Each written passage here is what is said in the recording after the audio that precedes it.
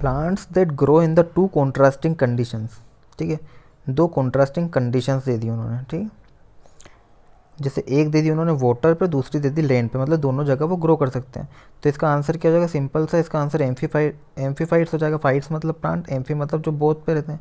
ऐसे हम एम्फीबियन भी पढ़ते हैं जब बायोलॉजी में जो प्लांट्स जो एनिमल्स आपके वाटर में और लैंड पे दोनों पे रहते हैं, उसको एम्फीबियन बोलते हैं। ऐसे ही एम्फीफाइट्स किसको बोलते हैं? प्लांट्स को बोलते हैं।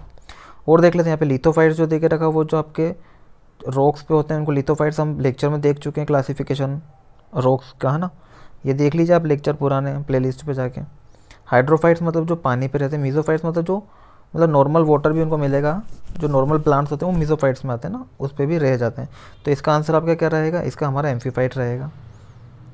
Conversion of N O three into N two ये वापस से नाइट्रोजन साइकिल आपके यहाँ से पूरी कंप्लीट हो जाएगी ऐसे समझ लो आप। तो फ्री नाइट्रोजन में चेंज कर रहे हैं हम तो इसको हो जाएगा डी नाइट्रिफिकेशन ये भी कुछ बैक्टीरियाज करते हैं ना तो इसका आंसर हो जाएगा डी नाइट्रिफिकेशन एमोनिफिकेशन क्या होता है? ये देख लेते, चलो हम अभी। Ammonification is the process by which the organically bound nitrogen of microbial plant and animal biomass is recycled after their death मतलब उनकी मृत्यु के बाद जो उनसे रिलेट उनसे जो भी बाउंडेड नाइट्रोजन रहता है वो वापस से रिसाइकल हो जाता है, किस फॉर्म में? अमोनिया फॉर्म में, ठीक है? ये आपका क्या होता है? ये साइकिल जो है वापस चालू हो जाती है आपकी, ठीक है? तो अमोनिफिकेशन इस किस, कौन करता है अमोनिफिकेशन ये बहुत सारे माइक्रो ऑर्गेनिजम्स करते हैं ना? बैक्टीरिया फंगस डिकम्पोजर्स में जो भी और नाइट्रिफिकेशन क्या होता है? एमोनिफिके जो अमोनिया होता है, उसका नाइट्रेट देन फिर नाइट्राइट में चेंज होना, है ना? नाइट्राइट में पहले चेंज होता है देखो जो एन थ्री होता है, आपका जो अमोनिया होता है, उसका पहले चेंज होता है आपका एन टू में देन वो चेंज होता है एन थ्री में ना नाइट्रेट में, और वो प्लांट उसको ऑब्सॉर्व करता है। तो होती है आपकी प्रोसेस फ्री नाइट्रिफिकेशन और वोलेटाइजेशन क्या होता है, जैसे कि आपकी अमोनिया गैस जो अमोनिया आपके सॉइल में मिली हुई है, वो किसी कारण से गैस फॉर्म में वोलेटाइज हो रही है ना, आप कुछ भी ऐसे सब्सटेंस डाल रहे हो जो कि वोलेटाइज हो रहा है आपका मतलब उड़ जा रहा है वो फ़ील्ड से तो वो होता है वोलेटाइजेशन इस फॉर्म में इसका लॉस हो जाता है नाइट्रोजन का। हमारा क्या हो रहा है थ्री को एनओ टू में कन्वर्ट करना है तो वो कौन कर रहा है? डीनाइट्रिफिकेशन हो रहा है। ठीक है आंसर आपको समझ में आ रहा है? तो इसका आंसर हो जाएगा denitrification first form compound during Krebs cycle देखो क्रेप साइकिल का नाम ही सिट्रिक साइक ये देखो, क्या है? क्रेप साइकिल देखे रखा है ना? और इसका आंसर हो जाएगा हमारा सिट्रिक एसिड का। हम इसको क्या बोलते हैं? और सिट्रिक एसिड साइकिल भी बोलते हैं। क्यों बोलते हैं? इसीलिए बोलते हैं ना, क्योंकि पहला जो उसमें स्टेबल कंपाउंड होता है, वो आपका सिट्रिक एसिड होता है। इसको टीसीए भी बोलते हैं ट्राई कार्बोक्सिलिक एसिड भी बोलते हैं ना।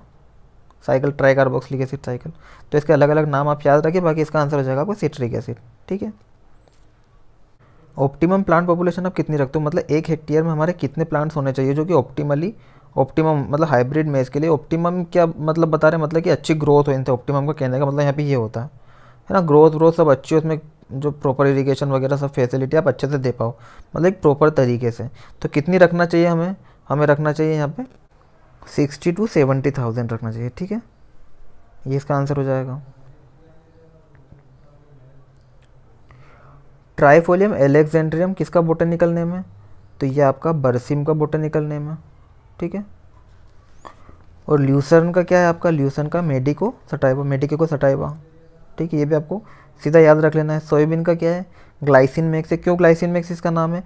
क्योंकि इसमें जो ग्लाइसिन होता है, वो सबसे मैक्सिमम अमाउंट में होता है। इसलिए इसका नाम ग्लाइसिन मैक्स है। आ रहा है ना समझ में? चिकपी का क्या है? तो चिकपी का हमारा साइसा रेडिटिनम है। क्लियर निकोटियना रस्टिका, है ना? टोबेको का है।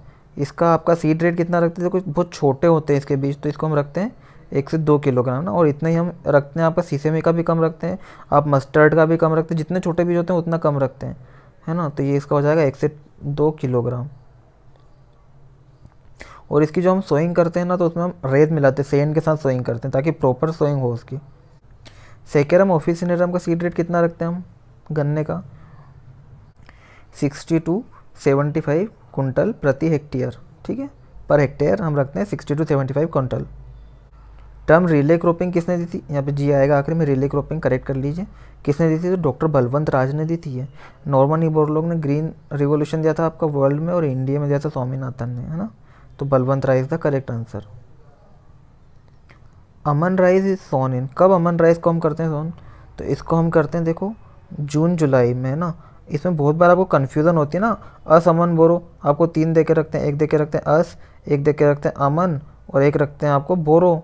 तो ऐसे इसको याद कैसे रखना? चलो हम इसकी ट्रिक देख लेते हैं। जैसे मैंने याद रखा था, जैसे कि गर्मी जो होती है, गर्मी में हम अस्त व्यस्त पूरा जाते हैं ना तो ऐसे मैंने याद रख लिया था, अस हो गया।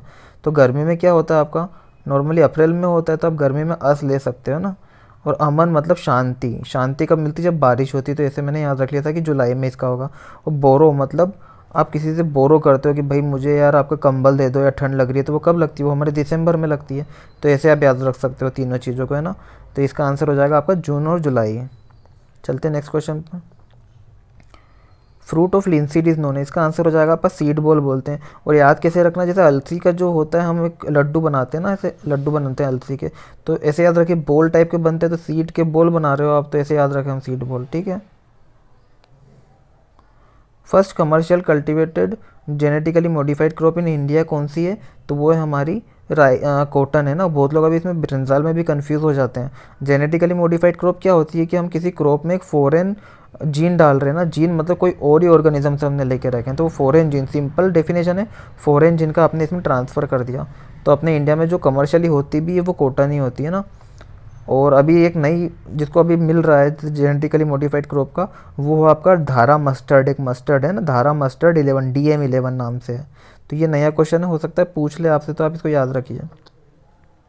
ये कहाँ पे रिलीज़ हुई है अभी आपकी ना, ये दिल्ली किस, कहाँ पे दिल्ली से हुई है ये? दिल्ली यूनिवर्सिटी से इसका रिलीज़ हुआ है, ठीक है? इसके बारे में और डिटेल में हम बाद में बात करेंगे। Centre of origin of soybean soybean का सेंटर ऑफ़ ओरिजिन क्या है? तो इसका चाइना है, ठीक है? ये हमको याद रखना। Critical stage of irrigation in upland rice अब अपलैंड राइस क्या होता है जिसमें हमें पानी की ज़रूरत नहीं होती ना ड्राई ड्राई सॉइल पे हम इसको ग्रो कर लेते हैं तो वो आपका अपलैंड राइस होता है। तो इसमें क्रिटिकल स्टेज क्या होता है? वो स्टेज जब भी हमको उसको पानी देना ही पड़ेगा, अगर हमारे पास एक बार हम इरीगेशन दे सकते हैं तो हम उसी पे देंगे, उसी को हम क्रिटिकल स्टेज बोलते हैं। तो इसका आंसर हो जाएगा पेनिकल इनिशिएशन के टाइम पर आपको हंड्रेड एंड वन परसेंट पानी तो जो हो गया क्रिटिकल स्टेज मतलब उसमें हमको पानी देना उस टाइम पर ज़रूरी है ना? चलते नेक्स्ट क्वेश्चन पर most toxic isomer of B H C जैसे ये आपको केमिस्ट्री पढ़नी पड़ेगी आइसोमर पढ़ने के लिए, है ना? ये शायद बेंजीन हेक्साक्लोराइड होता है। तो जैसे ये होते हैं, इनके फॉर्म अगर हम चेंज कर देते हैं ना, किस फॉर्म में अगर इनका किस तरीके का आइसोमर चेंज कर देंगे कि मोस्ट टॉक्सिक हो जाएगा ये फॉर्म तो इसमें हमारा आंसर जो हो जाएगा, वो हो जाएगा गामा ठीक है? तो इसका जो गामा आइसोमर है, उसमें सबसे ज़्यादा टॉक्सिसिटी होगी इसकी। सेंट्रल सीट ले, टेस्टिंग लेबोरेटरी अच्छा इंपॉर्टेंट क्वेश्चन है, पूछते हैं बहुत बार, ये है आपका वाराणसी में, ठीक है? ये आप याद रख लीजिए डायरेक्टली क्या होता है, यहाँ पे हम सीट की हेल्थ चेक करते हैं ना सीट कितना अच्छा है, कितना बेकार है, उसमें कौन से माइक्रोब्स अटैच है नहीं है, वही लेबोरेटरी होती है आपकी। वाइट गोल्ड किसे बोलते हो? तो सफ़ेद सोना हम कपास को बोलते हैं कॉटन को, ठीक है? तो वाइट गोल्ड इज़ और कॉटन को बोलते हैं हम, ठीक है? Heliography is an instrument to measure तो इसमें हम actual hours of sunshine sunshine कितने टाइम तक रही है उसको मेजर करते हैं? First phase of water erosion. देखो, वाटर इरोजन जो होता है, इसको हमने चार पार्ट में डिवाइड कर दिया और ये क्रम से ही है। सबसे पहले स्प्लेज जैसे पानी की बूंदें गिरती है, वो ज़मीन को जो थोड़ा सा ऊपर से इरोजन कर देती है, वो स्प्लेज इरोजन होता है। उससे अगर छोट, धीरे आपका शीट इरोजन होता है और शीट इरोजन क्या फार्मर्स डेथ भी कहलाता है। क्योंकि एक लेयर जाती है और फार्मर्स को पता नहीं होता कि वो ऊपर की लेयर चली जाती है। इंपॉर्टेंट क्वेश्चन है। Sheet erosion is also known as soil death, farmers death, ऐसा भी बोलते हैं ना। तो ये इंपॉर्टेंट है आपका शीट इरोजन सबसे पता ही नहीं चलता, लेकिन आपका इरोजन हो जाता है। देन इसके बाद छोटी छोटी नालियाँ बन जाती है, उसको हम रिल बोलते हैं बड़े बड़े नाले बन जाते हैं, उसको गली इरोजन बोलते हैं, ठीक है?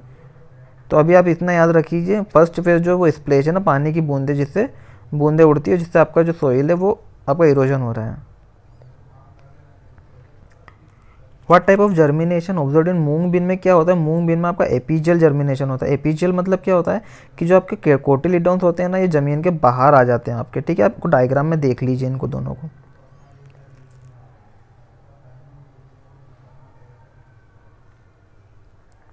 टिलेज कंसेप्ट सबसे पहले किसने दिया था? तो टिलेज कंसेप्ट हमारा दिया था जेथ्रो टूल ने ना? T U double L Jethro Tull ने दिया था आपका टिलेज कंसेप्ट तो ठीक है दोस्तों, ये थे हमारे कुछ क्वेश्चंस जो कि एग्रोनॉमी के हमने 2014 के जे से लिए हैं। Hello friends welcome to agri audio hub आज जो हम बात करेंगे, अगले 20 क्वेश्चंस की बात करेंगे जो एग्रोनॉमी से 2014 में हमने लिए हैं। और कंटिन्यूसली हम ये वीडियोस डाल रहे हैं तो आप इस चैनल को सब्सक्राइब कर लीजिए वीडियो को लाइक कर लीजिए, क्योंकि आने वाले टाइम में हम कंटिन्यूसली एग्रीकल्चर के मॉक टेस्ट लेने वाले हैं, जो कि आपको हर एग्ज़ाम्स में काम हंड्रेड एंड वन परसेंट आने वाले हैं। इसके साथ ही हम हर क्वेश्चन को कंसेप्चुअली उनको देखते हुए चल रहे हैं, उनको एक्सप्लेन कर रहे हैं, उनकी इमेजेस देख रहे हैं। तो आप वीडियो को एंड तक देखिए ट्वेंटी क्वेश्चन में आपको एट्टी क्वेश्चन का नॉलेज हो जाएगा। Thank you